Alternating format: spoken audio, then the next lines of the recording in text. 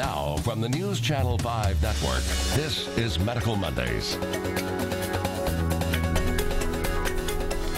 Hey, good evening to you all and welcome to Medical Mondays. I'm Jessica Ralston and we are talking once again tonight pain management uh, with our featured guest, Dr. Yelameli from the Nashville Pain Center. So thanks for being back here. Thank you. Thank you very much for having me. And we're expecting a lot of phone calls last night Okay. because you're pretty popular when you get on here. A lot of people have questions. So if you have a question for the doctor, give us a call here at 737 plus. Sure. Again, we're talking pain management and related issues. And I guess we'll kick things off starting about Okay. starting with what a lot of people I'm sure come in and ask you about first thing is is what kind of medication can I take to manage Correct. my pain? And there's a lot that, that encompasses this. Yes, yes. Uh, in chronic pain management, medications are still the you know main um, ways, you know uh, way of treating pain. Sure. One of the major modalities that we use is medications, and um, typically. Uh, as I said, chronic pain can be of any uh, from any part of the body. It can be of uh, any kind. It can be coming from muscles, nerves, joints, um, uh, any such sources. And uh, there are different medications that we use for different kinds of pain. Okay. So we always start off with the simplest one. Everybody knows about these non-steroidal anti-inflammatory drugs, which are basically over-the-counter medications like ibuprofen, naproxen. Um, you know, the famous brands are Motrin and Aleve. Um, so these drugs uh, are first actually used by the patients themselves when they first get into these uh, painful conditions. Uh, but they're of uh, good value even in chronic pain. Even when the patient has been in pain for a long time, we we still find these medications useful in certain ways. Like, uh, for example, if a patient is suffering from arthritic pain, it can be in the spine. A spine can have arthritis. There can be arthritis just not in the knees or hips. It can be anywhere else in the body too, wherever there is a there are small joints. So when we do recognize arthritis, we do use these medications, but we use them only for short periods of time, not on a regular basis for years and years and years, because they do have uh, major uh, problems. They do cause major problems to the kidneys, and they can cause ulcers in the stomach. Oh, So, um, so we do use those, but um, there are some patients, some people who just take them on a regular basis. The caution is that it's not really recommended uh, to take these medications on a regular basis. Okay. Do you have people come in and, and say, well, you know, you tell them uh, we're going to put you on ibuprofen, and they look at you like, listen, I'm already trying that. That that's Yes. not going to be good enough.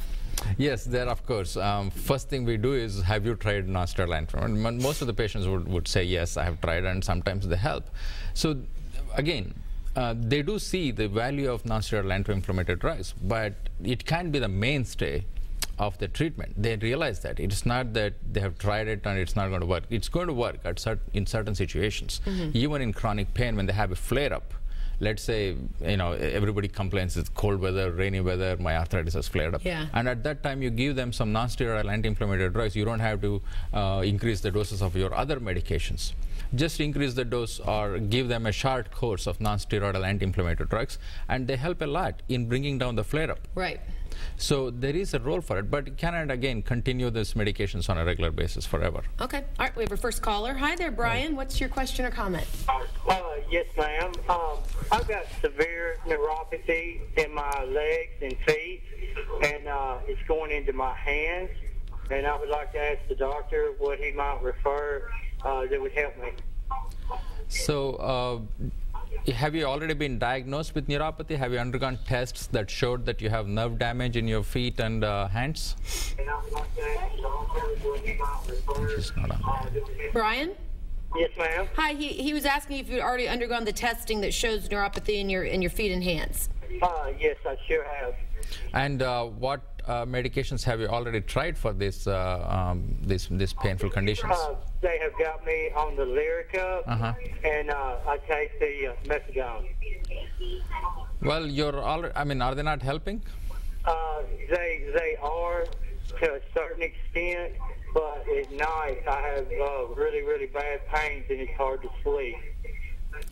Well, uh, those two drugs that you're already on are pretty good for neuropathic pain. I mean, Lyrica is uh, pregabalin, which is a very powerful uh, medication that we use for uh, neuropathy.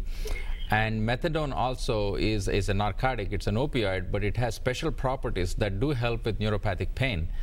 But if those two are not uh, helping you, probably then we may have to look at other options. Um, maybe uh, have some procedures to help you with the pain. Maybe add in a sympathetic nerve block, or um, you know we have spinal cord stimulators uh, which help with neuropathic pain. I don't know whether you have been offered this already. Uh, no, sir, I have not. See, those are the options that we have, and maybe we may have to uh, adjust the doses of these medications. Maybe we may have to see what is uh, what else we can do. Is this from diabetes? Do we may we may need a better control of diabetes to help you with this uh, neuropathic pain. Do you have diabetes?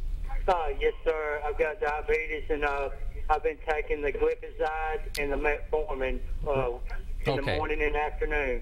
Right. So we may have to work with your endocrinologist and see how well your diabetes is controlled. That's our first goal, to have the Okay. diabetes controlled and then work on the pain. Many times just controlling the diabetes will be helpful in controlling your pain to a level where the medications that you're already on become more effective.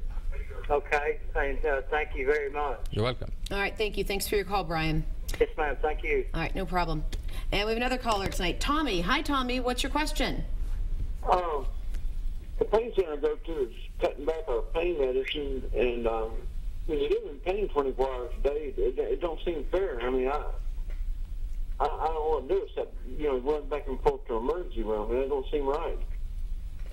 Yes. Uh, what is the first thing you said? Uh, Pain, the pain center he goes to is cutting back his medication. Oh, okay. So, um, well, uh, are you being offered other modalities of treatment, like other than the medications? Are they also offering you um, procedures and uh, physical therapy and you know various other modalities that we use?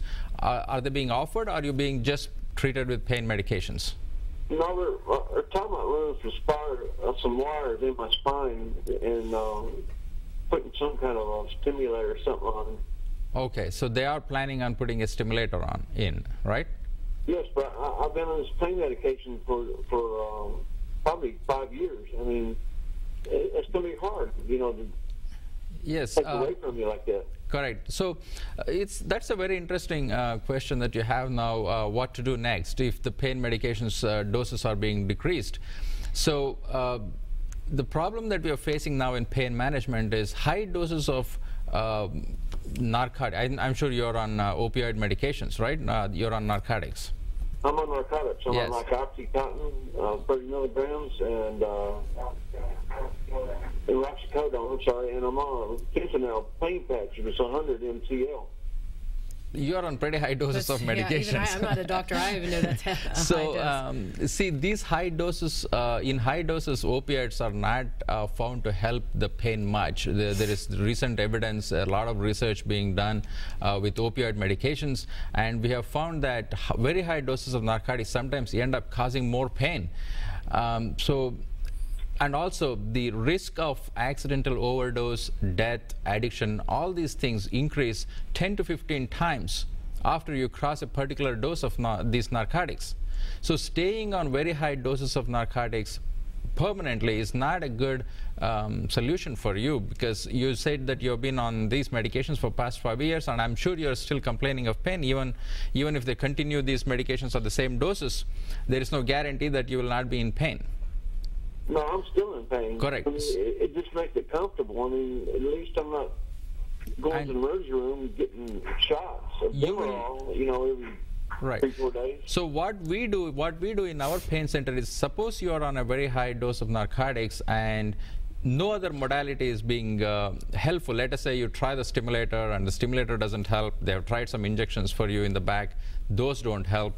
Then there is no way you can come down. Let's say we try to decrease the doses and you cannot tolerate the decrease in doses. Then we do have what is called intrathecal pump uh, placement, uh, implantation. So we start uh, implanting pumps that can directly pump the medication to your spine so that you get like a hundred times less dose of more of whatever medications you're on, a 100 times less, and still get better relief. And you don't have to take these medications by mouth. And there is uh, still of course there are complications involved with this. It is not like 100% safe. But under expert hands you should you should have good relief without having to take very high doses of narcotics. So that is the last option we have So there are options for you. So just coming down on the doses itself may help you with the pain. If the if the opioids themselves are causing pain, you may actually feel better when they decrease the doses. And when you try other modalities, you should have a, an open mind and try those because I think that is uh, the right way to proceed because if you stay on the same doses that you're on, maybe down the line you will need even higher doses. So where are we heading then? That was going to be my question, you right? Because right. you're going to he would keep needing a higher C dose, correct. and you're going to hit a point where you can't. You right, you cannot, and the risks become too high uh, to, to uh, justify the benefits, which are not much anyway. You're saying that you're not very active uh, right now on high doses of uh, narcotics. So it's better to look at other options. And there are other options. And we have many patients who have done really well after coming down on the doses. They actually felt better they have said their their their own selves again and um, they feel much comfortable and their pain is also better controlled so there is it's not the end of the um, road for you to you know just stay on these uh, uh, opiates at very high doses. I hope. Uh, uh, I, I guess. I mean, I, I, I don't know. I was, no, it's you, hard to it's hard to live in pain 24 hours a day. I mean, what right? What we have noticed is also that when you are on high doses of opioids, patients have a very hard time coming off of them. Right.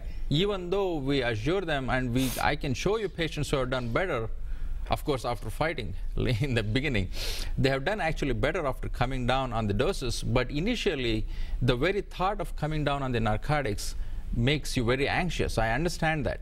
Patients get really very anxious when they are, they are told that the doses have to be decreased.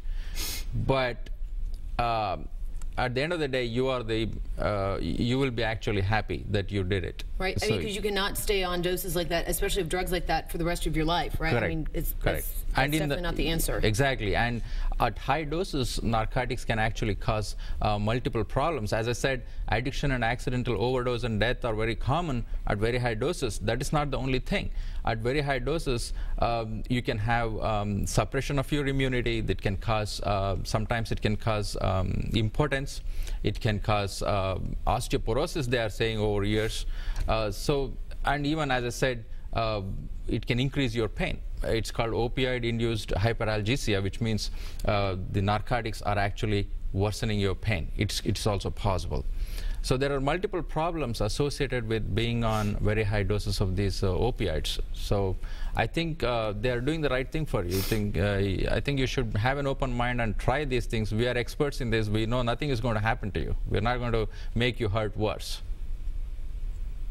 Okay. Um, I, I, just have trouble walking. I, I fell the other day. I mean, uh, it, it just it just gets gets tired of hurting all the time. Yes, it may initially feel like you're going to hurt more, but as I said, there are other options. Once you come off of these uh, high-dose narcotics, uh, as I said, there are other options. In fact, the stimulator may help you better when you're on lower doses of narcotics. Even a pump is an option for you uh, in future if none of the other modalities uh, help. But staying on high-dose narcotics is, is not going to be very helpful for you in the long run. Okay, well, thank you. You're welcome. All right, well, thank you. All right, well, good advice there. And we'll be back in just a minute. If you have calls, give us a call here, at, or questions, give us a call here at 737 Plus.